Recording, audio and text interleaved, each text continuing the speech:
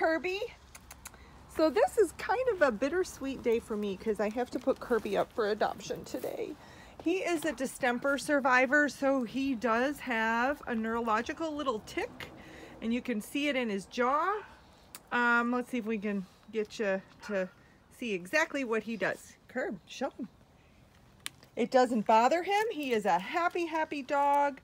Um, but he will always probably have a little tic in his jaw and a little wobble to his giddy up. Hey, Kirby. Kirby. Kirby. Come here, sweetie. You want to play? You want to play? Let's show him. You can see his jaw. Hold on a minute. It does not stop him, though. This dog um, was very, very, very sick with distemper, and he's just one of those that wouldn't give up. He's the little engine that could, and he eventually beat it.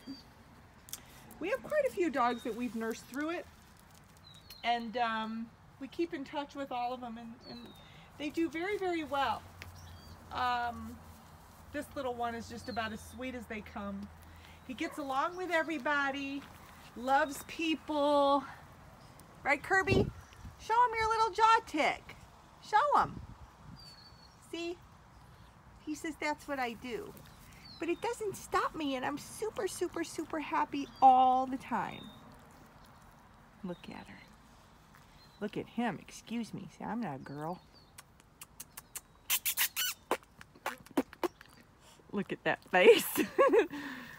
he hangs out in my office with a couple other distemper survivors, and he's just to do just fine. He's um, probably about, I'd say, six weeks post any kind of antibiotics or symptoms. So in my experience, he's ready to go.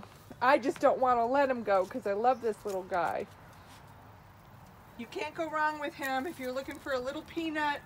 He only weighs maybe, I'd say just probably right at 10 pounds or a little bit under.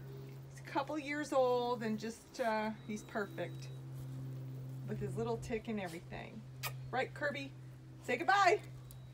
Say, that's me, I'm Kirby.